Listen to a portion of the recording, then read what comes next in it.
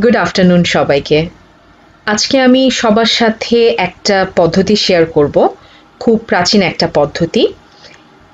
এবং এটা আপনার রেসপিরেটরি সিস্টেমকে খুব ভালো রাখবে ওপেন করবে, যেটা আপনার ব্রিদিংয়ের জন্য হেল্প হবে এবং লাং ক্যাপাসিটি বাড়তেও খুব সাহায্য করে।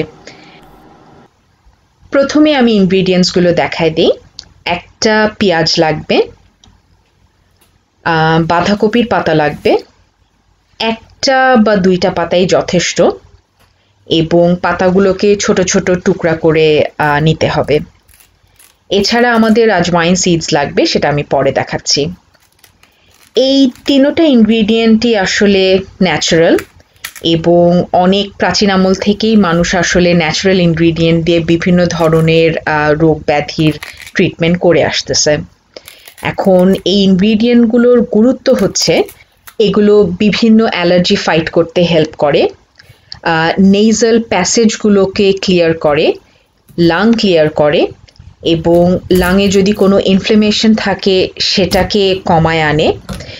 আর তাছাড়া তিনোটা ইনগ্রিডিয়েন্টই হচ্ছে ন্যাচারাল অ্যান্টিবায়োটিক যেহেতু বর্তমানে করোনা ভাইরাস নিয়ে আমরা সবাই আতঙ্কিত, সবাই আমরা ভালো থাকতে চাচ্ছি এবং ভাইরাসটা যেহেতু লাঙে খুব ডিপলি অ্যাটাক করে, সেক্ষেত্রে লাঙের যত্ন নেওয়াটা খুবই জরুরি।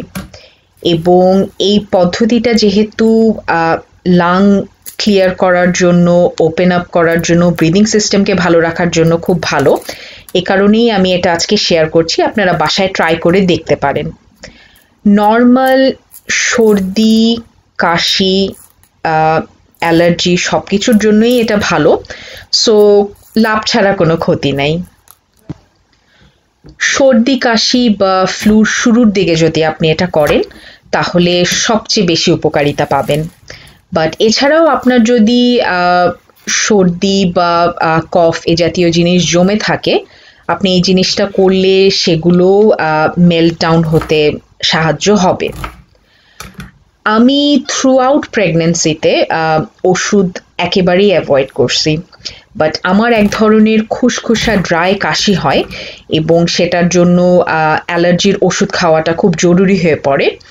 যেহেতু আমি ডিসাইড করে রাখছিলাম যে কোনো রকম ওষুধ আমি খাব না, সে কারণে আমি এই জিনিসটা রেগুলার বেসিসে করতাম এবং অনেক উপকার পাইছি। আমি এখন এক টেবিল চামচ আজওয়াইন সিড নিয়ে এনেছি। এটা দেখতে অনেকটা জিরা বা শাহি জিরার মতন বাট আজওয়াইন সিড কিন্তু ডিফারেন্ট খুব ছোট ছোট হয়, খুব অ্যারোম্যাটিক এবং খুব ভালো একটা ন্যাচারাল অ্যান্টিবায়োটিক আমি এখন চুলায় চলে যাচ্ছি, কারণ জিনিসটা চুলাতে করতে হবে। আমার প্যান দেখে প্লিজ হাসবেন না, এই প্যানটাতে আমরা এই কাজটা রেগুলার বেসিসে করি এবং তাতে আপনার একটা প্যান নষ্ট হবেই। কারণ জিনিসগুলো আপনাকে পুরাতে হবে।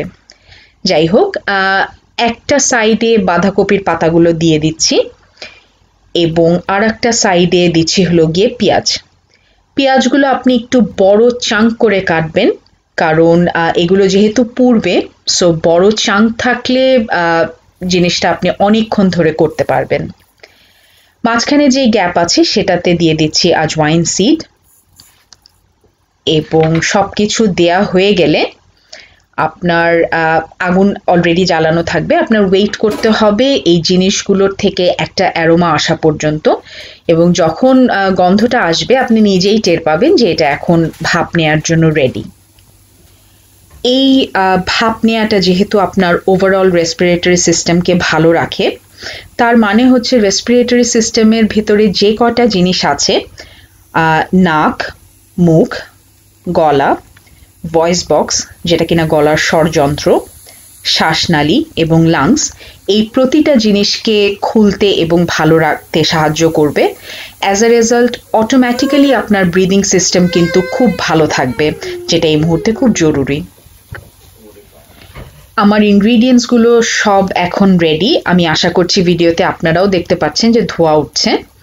যতটুকু কাছে যাওয়া সম্ভব গিয়ে এটার ভেপটা নিতে হবে। এই যে ধোঁয়াটা আসতেছে, এটার থেকে কন্টিনিউয়াসলি একটা সুন্দর অ্যারোম্যাটিক অ্যারোমা আসতে থাকে এবং এই ভাবটাই আপনার নাক দিয়ে নিতে হবে। বাকি কাজ কিন্তু এটাই আপনার বডিতে গিয়ে করবে এবং বডি অবশ্যই আপনাকে থ্যাঙ্কস জানাবে। আপনি এই মুহূর্ত, এটা করার সময়ই যদি রিয়েলাইজ নাও করেন আপনি পরে অবশ্যই রিয়েলাইজ করবেন যে হ্যাঁ এক ধরনের বেটার আপনি ফিল করছেন। আমরা এটা সব সময়ই বাসায় প্র্যাকটিস করি এবং যেহেতু শীতের দেশে থাকি, ঠান্ডা, সর্দি, জ্বর ফ্লু এগুলোর চান্সেস আসলে সব সময়ই থাকে। সো মেডিকেশনের উপর ডিপেন্ড করার বদলে আমরা এই জিনিসগুলো বাসায় প্র্যাকটিস করি। এবং আমরা বলতে এখন সেখানটায় কিন্তু অ্যালেনও অ্যাড হয়েছে। ওকে নিয়ে জিনিসটা করাটার সময় সাবধানতা অবশ্যই আমাদের অবলম্বন করতে হয়। যেমন ওর হাতগুলোকে আমরা টাইট করে ধরে রাখি, কারণ ছোট মানুষ সে প্যান্টটাতে হাত দেওয়ার চেষ্টা করবেই।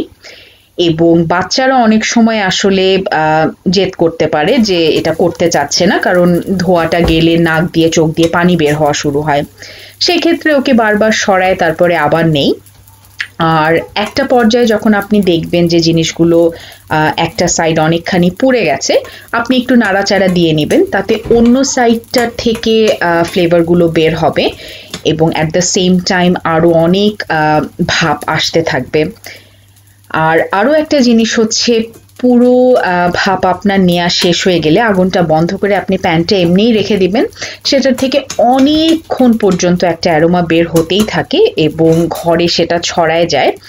এটাও আপনার মানে আপনি ওটার ভেতরে যেহেতু শ্বাস প্রশ্বাস নিচ্ছেনই, অত সামনের থেকে না বাট তারপরও কন্টিনিউয়াস বেসিসেই এটা বাসায় খুব সুন্দর একটা, কি বলব এটাকে কি ডিফিউজার বলা যায় কিনা জানি না। মোট কথা সারাক্ষণই আপনার বাসায় এক ধরনের ক্লিন বাতাস থাকতেছে।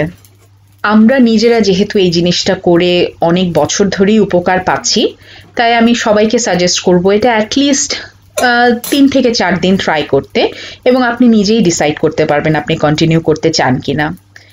প্রাচীন অনেক জিনিস আমরা ভুলে গেছি, কিন্তু তাতে কিন্তু সেগুলোর গুণাবলী কমে যায়নি। আমি আজকে এখানেই শেষ শেষ করে বিদায় নিচ্ছি। সবাই ভালো থাকবেন।